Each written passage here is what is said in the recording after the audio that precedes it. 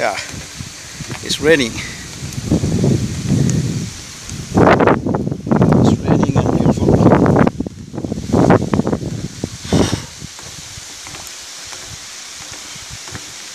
to be very very careful. So I'm alone today. And uh, there's some kind of uh,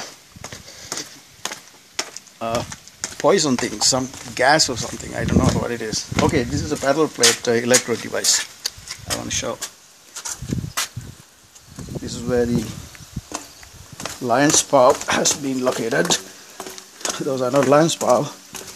They are representing the fifth state or the fifth force of the universe. I must say that. Over there. Five fingers. One, two, three, four small one.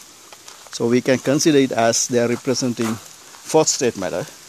But actually, this parallel plate electrode is also can be considered as another finger.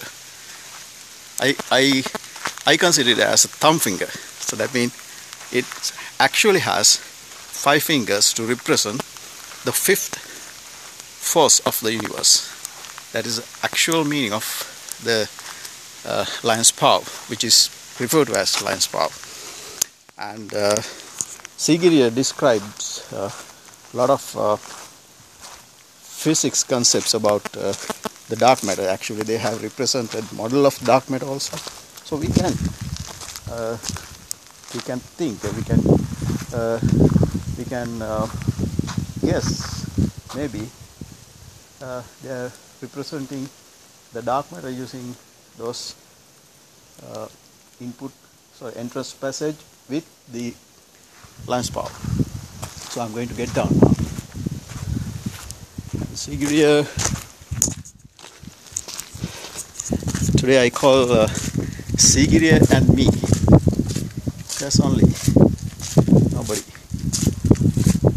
Okay, actually I really don't want to go back because I feel like this is just my house. Actually, it's a flying ship. It's a Pushpaka Vimana.